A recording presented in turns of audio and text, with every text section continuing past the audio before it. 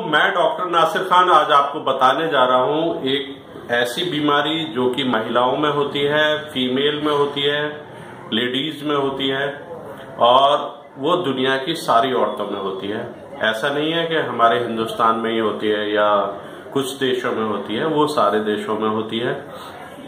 Unhygienic unhygienic conditions ज़्यादा उसके लिए होती हैं पुअर हाइजीन कंडीशंस होने की वजह से भी ये बीमारी बढ़ती है और उसके साथ साथ कुछ इन्फेक्शंस ऐसे होते हैं जो हो जाते हैं महिलाओं में, जिनकी वजह से लिकोरिया, जो श्वेत प्रदर हिंदी में कहते हैं, और जो इंग्लिश में लिकोरिया कहते हैं, और सफ़ेद पानी जाना भी कहते हैं, बहुत सारे धातु रोग कहते हैं। तो इसकी वजह से महिलाओं में पूरे बदन में दर्द, कमर में दर्द, और हर वक्त अजीब सी उनके जो अंग हैं, छिपे हुए अंग हैं, उसमें अजीब तरह की हलचल रहती है। उसकी वजह से वो बेचैन रहती हैं, सारी टांगों में दर्द रहता है, और किसी भी काम में दिल नहीं लगता है। और इसके साथ साथ बहुत सारी दिक्कतें आने लगती हैं। कई बार जो महिलाएँ शादीशुदा हैं, उनके सामने काफ़ी दिक्कतें आती हैं। वो इस वजह से कई बार कंसीव नहीं कर पाती हैं। तो आज ऐसा टॉपिक है ये जो कि महिलाओं के लिए है। मैंने ख़ास तौर पे इसके लिए कुछ देसी दवाइयाँ, घरेलू इलाज बताने जा रहा हूँ, जिनका इस्तेमाल आप कर सकते हैं इस तरह की बीमारियों में, जिनको लिकोरिया है, सफ़ेद पानी है, या कमर कटना भी कहते हैं बहुत सारे एरिया में। तो उसके लिए हम बात करेंगे कि किस तरह से हम इसको दूर कर सकते हैं। तो पहले मैं घरेलू इलाज ही बताऊँगा। जामुन की ताज़ा छाल लें।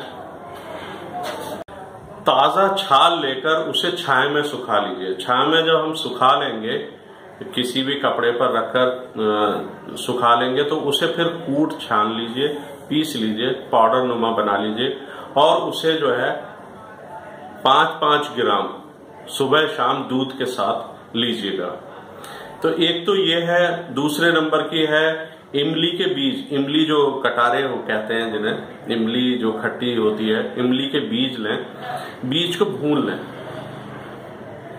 तो उसके अंदर की जो गुठली निकलती है, उसे ले लें और या उसे पानी में भिगो, पानी में भिगो दें गुठली को, जो इमली होती है।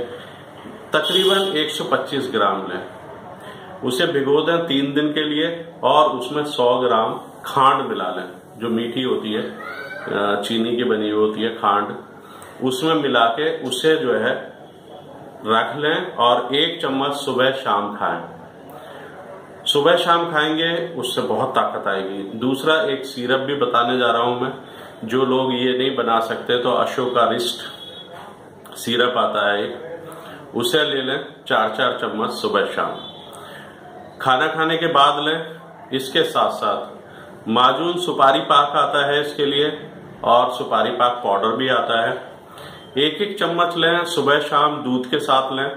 इनशाला जो सफ़ेद पानी की बीमारी है लिकोरिया है, श्वेत प्रदर है, ये आपकी बिल्कुल ठीक हो जाएगी। इसके साथ साथ जिन लोगों ने मेरे चैनल को सब्सक्राइब नहीं किया है दोस्तों, सब्सक्राइब कर दीजिए।